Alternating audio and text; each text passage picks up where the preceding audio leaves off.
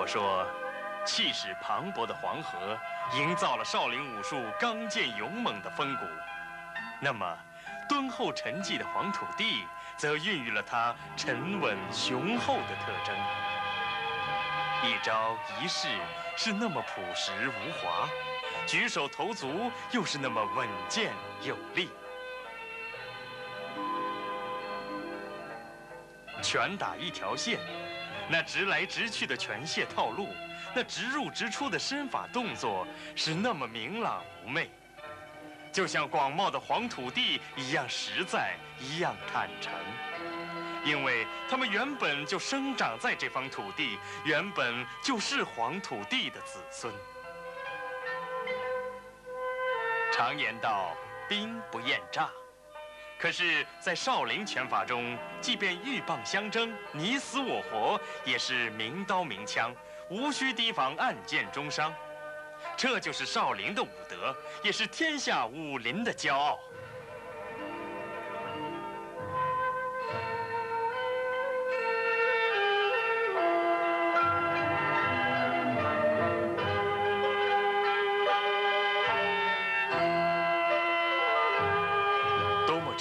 架势，起如蛟龙出海，落似泰山灌顶，不急不缓，不慌不乱，浑厚中透出几许刚毅，雄健中凝多少沉寂。少林武术就是这样令人着迷。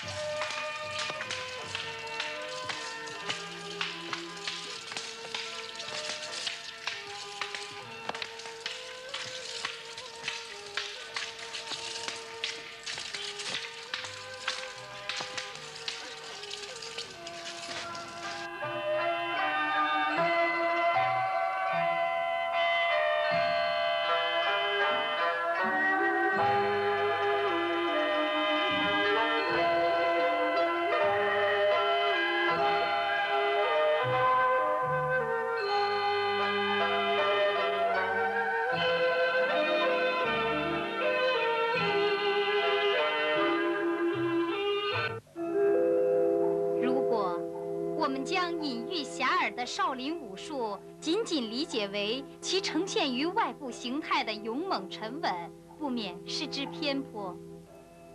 透过其雄健敦厚的外形特征，我们将触摸到它更深的内在底蕴。全燕说：“外练筋骨皮，内练一口气。”诚然，少林武术非常注重外部力量的锻炼培养。所谓拳不离手，同样，他们也非常注重内在气运的修炼，注重于对精气神的高度融汇的追求。苦练拳脚，能够练就结实的身体，提高应敌的灵活性；而修习内劲，却能使拳脚更有威力，从而能孤居千军而不气馁。历代少林高手无不是内外兼修的大家，发乎于内而行于外，行乎于外而动于内，只有这样，才能练就克敌制胜、屡战不败的真功夫。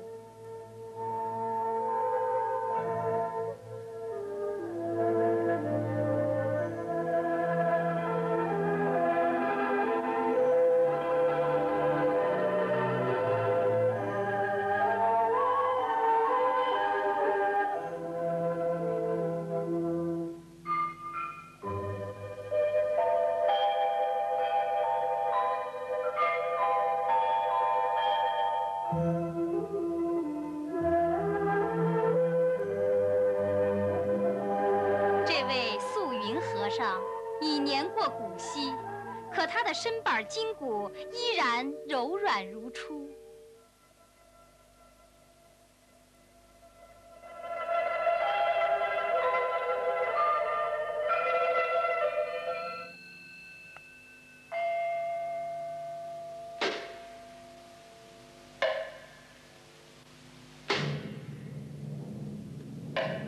冰冻三尺，非一日之寒。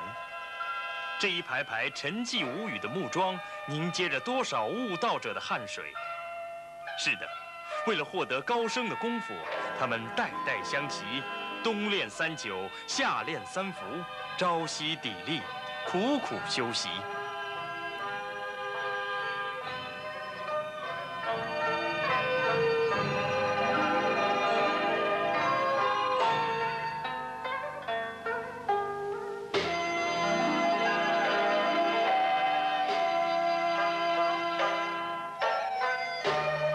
那沉默的石锁、沙包，那深嵌于千佛殿中的脚窝可以作证。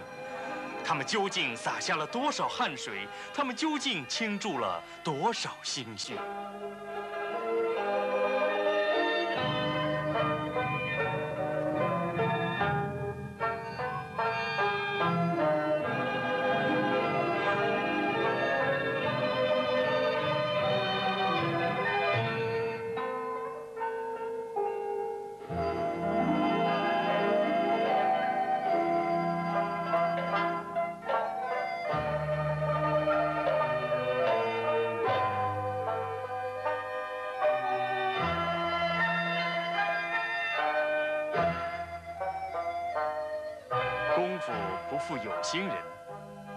心的汗水、满腔的心血，终究浇灌出精湛的武艺之花，造就了多少钢筋铁骨之身，使少林武功日臻完善，名手辈出，赢得了“天下功夫出少林”的美誉。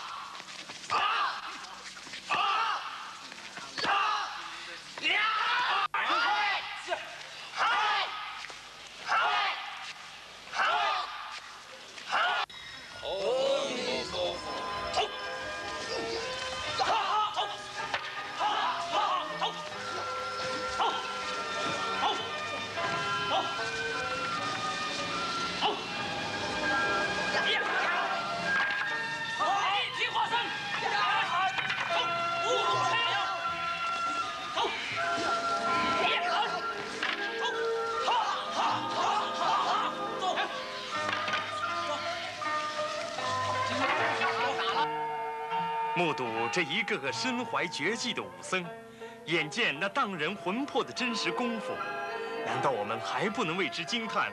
难道我们还不能为之折服吗？少林武功震山撼岳。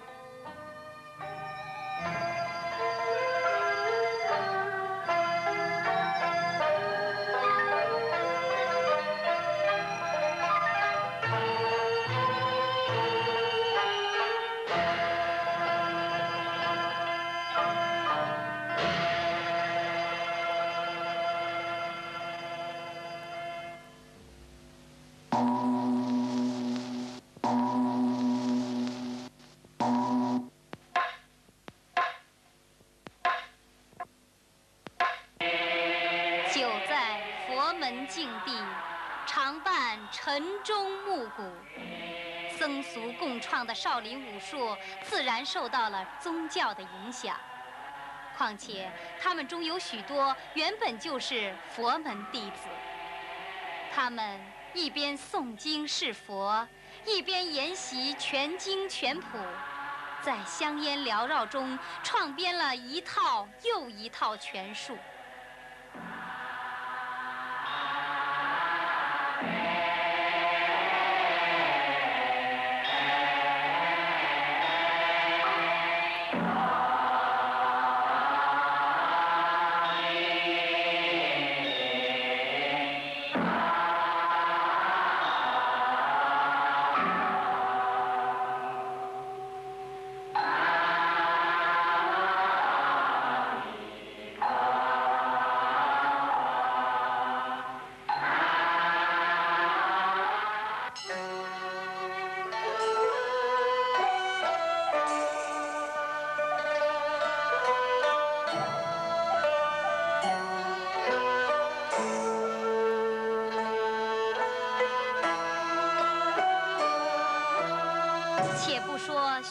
全名习用了佛家名词，例如罗汉拳、佛祖拳、金刚拳等等。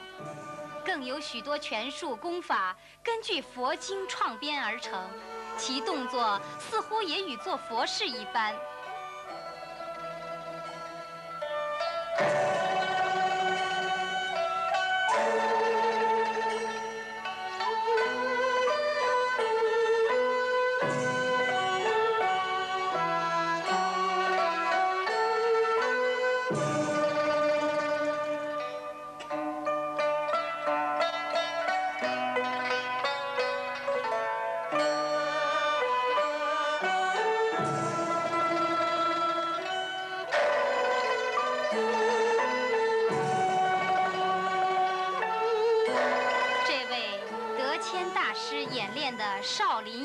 易筋经功法就是其中一例。演练时需伴以节奏沉稳的诵经声，双手合十，运气凝神，然后随着经声节拍辗转身体，开合双臂，缓缓起伏，直至收势。整套动作约需五六分钟。看着柔缓的动作架势，多向佛殿中沙弥们侍佛的跪磕叩拜，而他所追求的，恰恰就是这种禅拳合一的境界。以佛凝心，以心明志，而后贯通意气，手舞足蹈，涵养内功。佛家以慈悲为怀，皈依佛门的沙弥竟大举舞枪弄棒，这不能不显得有点荒唐。可是，这一切却在这儿获得了一种平衡。一方面，它体现了禅宗教派的宽容，传道见性即佛，讲究顿悟。既无需像西藏密宗那样苦心修持、长此见悟，而只要一朝顿悟，即可立地成佛。